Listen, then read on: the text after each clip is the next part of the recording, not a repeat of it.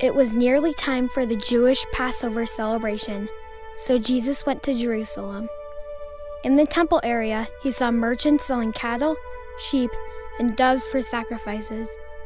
He also saw dealers at tables exchanging foreign money. Jesus made a whip from some ropes and chased them all out of the temple. He drove out the sheep and cattle, scattered the money changers' coins over the floor, and turned over their tables.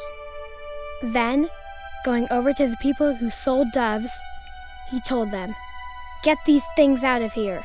Stop turning my father's house into a marketplace. It is written in the scriptures My temple will be called a house for prayer, but you are changing it into a hideout for robbers. The blind and crippled people came to Jesus in the temple, and he healed them. The leading priests and the teachers of the law saw that Jesus was doing wonderful things and that the children were praising him in the temple, saying, Praise to the Son of David. All these things made the priests and the teachers of the law very angry. They asked Jesus, Do you hear the things these children are saying? Jesus answered, Yes. Haven't you read in the scriptures? You have taught children and babies to sing praises? Then Jesus left and went out to the city of Bethany, where he spent the night.